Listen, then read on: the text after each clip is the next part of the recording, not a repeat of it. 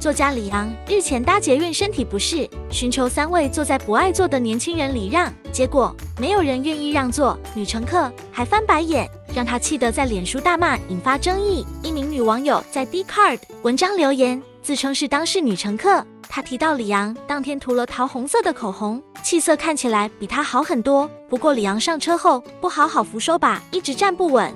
女乘客澄清，李昂当时。并不是直接走到他面前问我不舒服，可以让座给我吗？而是自言自语说：“我再试一次，看谁要让座给我。”这是不爱坐，谁要让座给我？没有人要让座给我。他傻眼表示：“请问我怎么知道你不舒服？”由于李阳拍了照片上网公审，女乘客反问网友们：“告侵犯肖像权告得成吗？”许多网友看了都傻眼。你觉得不爱坐到底要不要废除呢？或是有其他意见，欢迎留言告诉我们。